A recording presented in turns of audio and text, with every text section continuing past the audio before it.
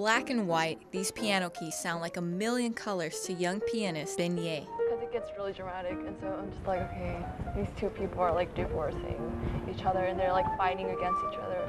Bin is a freshman at Seoul American High School. For the past six years, piano is all she can think about. In third grade, I started like actually playing the piano, and like I love my teacher, and so she had these all like amazing like piano moves, and I'm just like I want to be, I want to be like that. Today, Bin is putting her skills to test. And it's like, why not just try? You know, you got nothing to lose. She's competing in the Osan American High School talent show. Ladies and gentlemen, presenting to you for performance today, Ms. Ben Ye. I want to see how I'm at, you know, and see if I win. I'm just like really lucky, and if I don't, then too bad. Bin Ye didn't win, but she did her best, and that's what counts. Sierra Nancy Kasberg, Osan Air Base, Korea.